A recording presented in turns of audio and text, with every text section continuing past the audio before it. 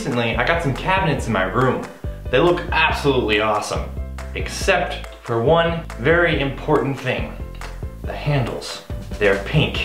This isn't gonna work. Obviously, we need to do something about these pink handles. So I wanted a dragon head handle, so I decided to sculpt my own dragon head for a handle. Um, and I've never sculpted anything before. I ended up using Sculptris and a little bit of this and that and finally got something reasonable that looked like a dragon head. I consider this guy a little mini toothless from How to Train Your Dragon. So let's go ahead and get right over to the printer and start printing this thing.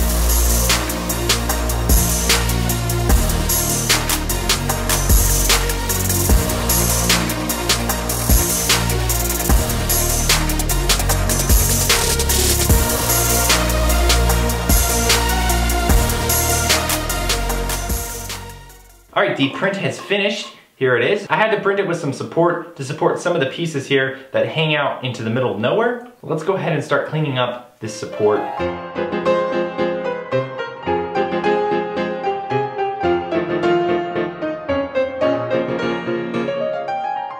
Alrighty, the 3D model is done being cleaned up. I am, wow. This model definitely turned out a lot better printed than I thought. Definitely quite nice.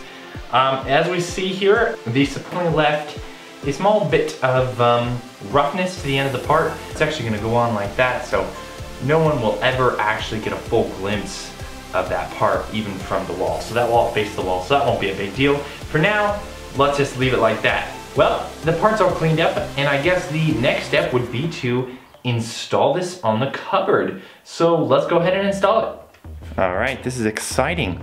Let's go ahead and put it on. So here it is. I guess we gotta take these old pink knobs off.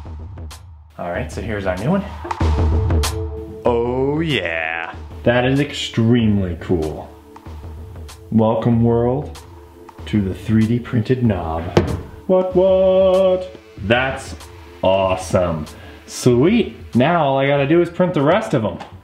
Well, I think this wraps up this video. Short and sweet, that's exactly how I like it. Like, subscribe if you haven't already, and we're gonna see you next week. Bye!